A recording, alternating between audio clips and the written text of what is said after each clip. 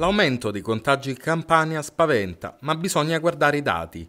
Ieri l'ultimo bollettino dell'unità di crisi segnava il preoccupante numero di 544 contagi giornalieri, una soglia mai sfiorata nemmeno nei giorni più drammatici del lockdown. La maggior parte di questi nuovi positivi, oltre 400, sono stati riscontrati in provincia di Napoli, ma non mancano focolai anche nel Salernitano. Al di là dei numeri, però, bisogna analizzare altri fattori.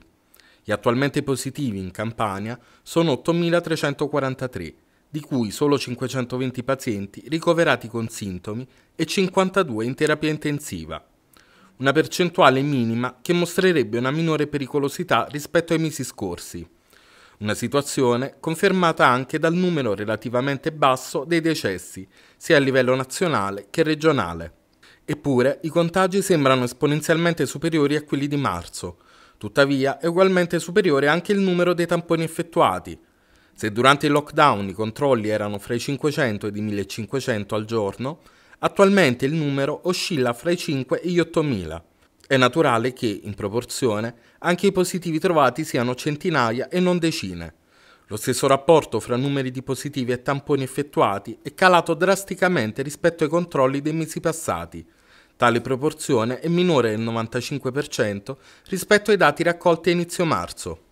Anche le strutture sanitarie non manifestano difficoltà gravi come nei primi mesi della pandemia. Nell'ultimo incontro di ieri fra governatore DASL del territorio è emersa la piena funzionalità delle strutture sanitarie e la piena disponibilità di posti letto utili. Sono emerse tuttavia criticità riguardo alla procedura dei tamponi. Sono state quindi autorizzate le strutture private a somministrare i test, con l'obbligo però di riportare subito i risultati alla Regione ed agli organi predisposti.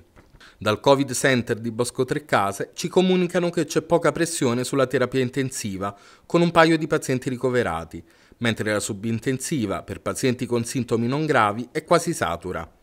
Per evitare fughe di notizie o informazioni incomplete che potrebbero generare allarmismi, il presidente De Luca ha regolato le comunicazioni fra sanità e stampa con un provvedimento discusso e contestato.